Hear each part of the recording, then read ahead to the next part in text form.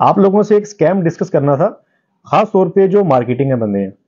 अगर आप मार्केटिंग के बंदे हैं, दुबई में आप जॉब हंट कर रहे हैं तो आप लोगों ने इस चीज़ से काफ़ी ज़्यादा केयरफुल रहना है। दुबई में जो छोटी कंपनीज़ है ना, वो आपको क्या करती हैं, आपको हायर कर लेती हैं। सारा कुछ करेंगी, आपको हायर करेंगी प्रॉपर वे से, और आपको कहेंगी, आपको एक प्रोडक्ट देंगी, और आप कहेंगी कि आपको इस प्रोडक्ट की मार्केटिंग करके। हैं और अगर आप आउटडोर के मध्य ऑब्वियसली बात है, आपको खुशी होती है कि जॉब मिल गई है, और ये बहुत बड़ी बात होती है कि दुबई में इस क्रूशियल सी ऑफ़ एप्लीकेंट्स में आपको जॉब मिल जाए। ये बहुत बड़ी अचीवमेंट होती है। और आप इसी खुशी में निकल जाते हैं आउटडोर मार्केटिंग के लिए और जब आपका वीज़ा एक्सपायर हो जाता है तो आपको वो कहते हैं, हम आपकी परफॉर्मेंस से सेटिस्फाई नहीं है और आपको वो फायर कर देते हैं। तो इसके आप, इससे आपने बहुत ज़्यादा केयरफुल रहना है।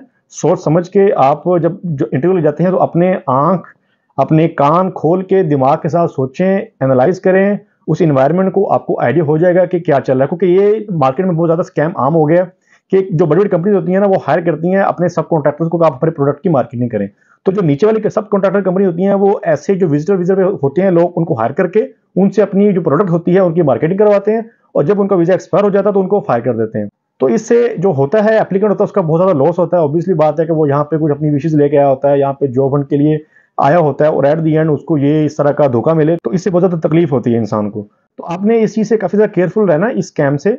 सोच समझ के स्टेप लें आँखें कान खोल के एनालाइज करें इन्वायरमेंट को। जब आप इंटरव्यू के लिए जाएँ, आपकी जब ज्वाइनिंग हो जाए कंपनी के बारे में रिसर्च वर्क करें, आपको काफ़ी हद तक आइडिया हो जाएगा। लेकिन इसका कोई बंदा आपको बता नहीं सकता। जस्ट आपने खुद, क्योंकि आप खुद वहाँ के एप्लीकेंट हैं, आप खुद वहाँ के न्यू ज्वाइनिंग हैं तो आप खुद वहाँ के इन्वायरमेंट को एनालाइज कर सकते हैं। आपसे बेहतर कोई भी नहीं बता सकता कि वो कंपनी जो आपसे आउटडोर मार्केटिंग का काम करवाएगी, वो किस नेचर की कंपनी है, वो कितने टाइम से यहाँ एग्जिस्ट कर रही है, और किस तरह वो यहाँ पे ऑपरेट कर रही है। तो ये आपने खुद अपने भी हाफ़ पे इसकी वर्किंग करके एनालाइज करना है कंपनी को।